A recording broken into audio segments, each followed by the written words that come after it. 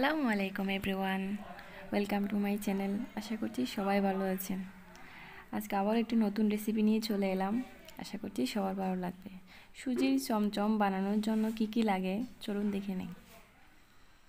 শুরুতে কিন্তু আমাদের দুই কাপ পানি লাগবে। দুই কাপ পানির জন্য এক কাপ চিনি একসাথে মিক্স করে নিতে হবে। এরপর এক কাপ দুধ, এক কাপ সুজি, এরপর একটা ডিম, বাটার এক কাপ চিনি এরপর কেওড়া ওয়াটার স্বাদ মতো লবণ। এরপর আমি চুলাই ডেক্সি দিয়ে এরপর দুই কাপ পানির মধ্যে এক কাপ চিনি দিয়ে দিতেছি এটা কিন্তু মাথায় রাখতে হবে। এক কাপ চিনির জন্য দুই কাপ পানি। এরপর ব্লক উঠে আসার পরে আমি কেরোয়া জল দিয়ে দিলাম। এরপর নামাই ফেলব। এত ঘন করতে হবে না, পাতলা থাকলেই হবে। এরপর আমি যেটাতে শিরা করছি, চিনির, ওটাতেই কিন্তু দুধ ঢেলে দিলাম। দুধের মধ্যে কিন্তু বাটার দিয়ে দিব। একসাথে মিক্স করে ফেলব। এরপরে কিন্তু আমি চিনি দিয়ে দিব। চিনি দেওয়ার পরে স্বাদ মতো লবণ এগুলো দিয়ে ভালো করে নেড়ে চেড়ে বাটার মিক্স করে ফেলব।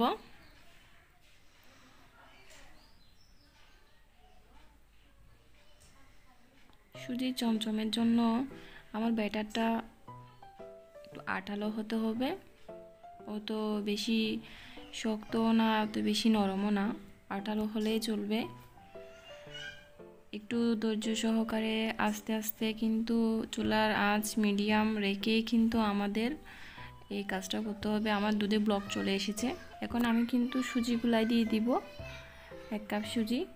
আমার কিন্তু সুজি দেওয়ার পরেই কিন্তু ভালো করে মিক্স করতে হবে। ভালো করে মিক্স করে নেড়ে চেড়ে আমি কিন্তু আটালো হয়ে এলেই কিন্তু নামিয়ে ফেলব ডোটা। আপনারা চাইলে এর মধ্যে অল্প ময়দাও দিতে পারেন, কিন্তু আমি ময়দা দিব না, কারণ আমি কিন্তু ডোটা যখন হাতে মলবো তখন একটা ডিম দিব, ওই জন্য আমি ময়দা মিক্স করতেছি না।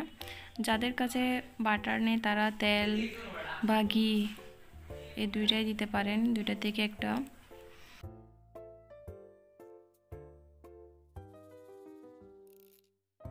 চমচম বানানোর জন্য আমার ডোটা রেডি আমি একটা ডিম দিয়ে কিন্তু হাতে আলতোভাবে মিক্স করে ফেলব, একটা ডো তৈরি করব। এরপর চমচমের শেপ দিব। আপনারা যদি চমচম শেপ দেওয়ার সময় যদি হাতে লেগে যায়, তাহলে আপনারা কিন্তু এই একটু তেল হাতে নিয়ে কিন্তু ডোটা তৈরি করতে পারেন। আমার কিন্তু লাগতেছে না, কারণ আমি এর মধ্যে আগে থেকে বাটার দিয়ে কিন্তু এই ডোটা রেডি করছি। চমচমায় শেপে আনতে হবে।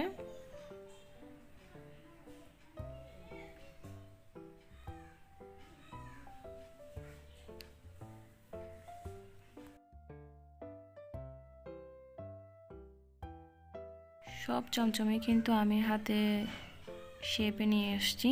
এরপর সরাসরি তেলে দিয়ে দিব। তেল বেশি গরম করব না। মিডিয়াম আঁচি থাকতে কিন্তু সবগুলো একসাথে দিয়ে দিব। একটু বাদামি কালার হয়ে এলে কিন্তু নেড়ে চেড়ে দিতে হবে। অতটা কালারফুল করব না। চোলার আজ কিন্তু মিডিয়ামেই থাকবে। মিডিয়াম থাকা অবস্থায় ধৈর্য সহকারে এইগুলাই কিন্তু আপনার রান্না করতে হবে।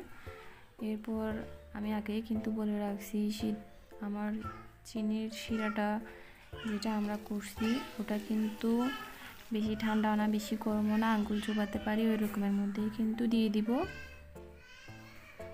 এরপর আপনি বিশ তিরিশ মিনিটের মধ্যে কিন্তু পরিবেশন করতে পারেন।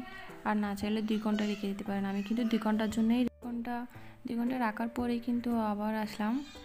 দেখে নেন আমার চমচম। আমি কিন্তু মামা দিয়েও কিন্তু সাফ করেছি কতগুলা। কেটে দেখাচ্ছি, কেমন হলো? অনেক মাসাল্লাহ অনেক সুন্দর একটা কালার এসেছে, অনেক। আমার ভিডিওটাতে যদি আপনাদের ভালো লাগে, তাহলে একটি লাইক দিয়েন, আমার চ্যানেলটাকে সাবস্ক্রাইব করে দিয়েন। এখানে বিদায় নিচ্ছি, আল্লাহ হাফেজ, সবাই ভালো থাকবেন। এটাই কামনা করি।